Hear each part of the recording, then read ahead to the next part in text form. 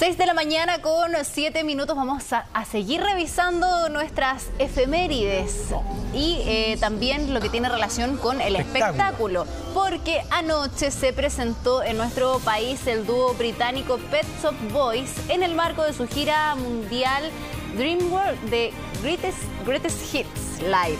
Ahí estamos viendo imágenes de lo que fue este recital. Los referentes del pop electrónico eh, tocaron frente a un Movistar Arena a su máxima capacidad. Mira cómo saltaba la gente ahí disfrutando de este recital. Lo llenaron, sí. Y los deleitaron a todos con sus éxitos como It's a Sin, West End Girls, de Dominio Dancing o Always on, on My Mind. Y en un show que se extendió por un poco más de dos horas, fue bastante largo, eh, una duración destacable teniendo en cuenta que tanto Neil Tennant y Chris Lowe superan los 60 años, imagínate, y más de dos horas ahí en en el show, ¿cierto?, que se realizó en el Movistar Arena, que se caracterizó por su propuesta estética bien cuidada, que contó con una pantalla gigante, hubo desplazamiento ahí vertical, un fondo falso con iluminación LED y concluyó, eh, incluyó con eh, interesantes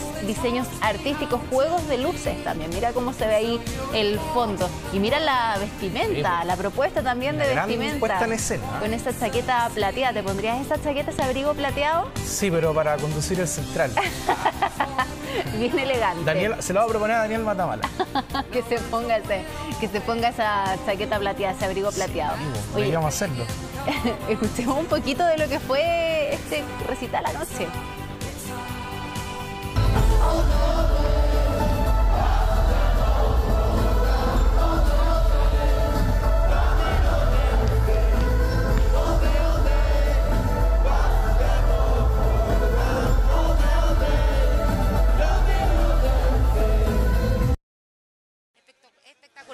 Superó cualquier expectativa, la voz de Nel es, fantástica y creo que es un gran show que se presenta acá en Santiago, así que muy agradecida de poder haber estado acá.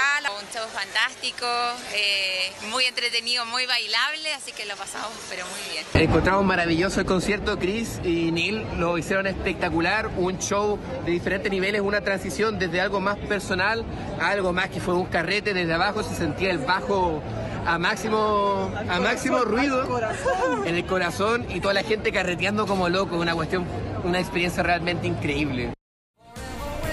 Mira, había harta variedad en el público, Pato. Eh, no es un y harta propuesta. Claro, no es un público tan mayor, teniendo en cuenta ah. que los eh, el grupo, los Pet Shop Boys, sobrepasan los 60 años, pero aún así lo dieron todo sobre el escenario, más de dos horas, la gente estaba saltando, cantando. y debe haber fanáticos ahí de 40 años seguramente, por ahí va, yo creo, que es el, el margen ahí entre 40 y 60, un poco más, de los Pet Shop Boys que llenaron